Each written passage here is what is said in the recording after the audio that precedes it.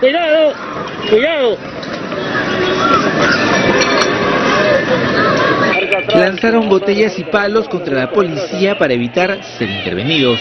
Al menos 500 personas huyeron de este local ubicado en la cuadra 12 de la avenida Próceres en San Juan del Urigancho cuando la policía intentó intervenir esta fiesta prohibida que se desarrollaba en pleno toque de queda.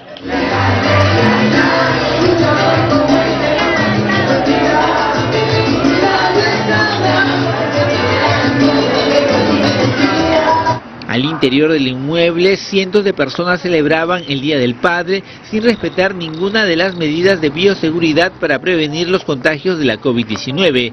Incluso cantaban al son de la orquesta en vivo. La fiesta era promocionada por redes sociales. Además, se anunciaba la presencia de cantantes de cumbia y salsa. Apoyo, chapa, izquierda. Izquierda. Izquierda. Apoyo, apoyo, apoyo, apoyo. No, apoyo, apoyo, el 19 de próceres. Apoyo, apoyo.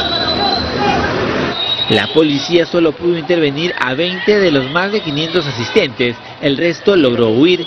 Los infractores fueron trasladados a la comisaría de La Guairona, donde se les impuso la papeleta respectiva.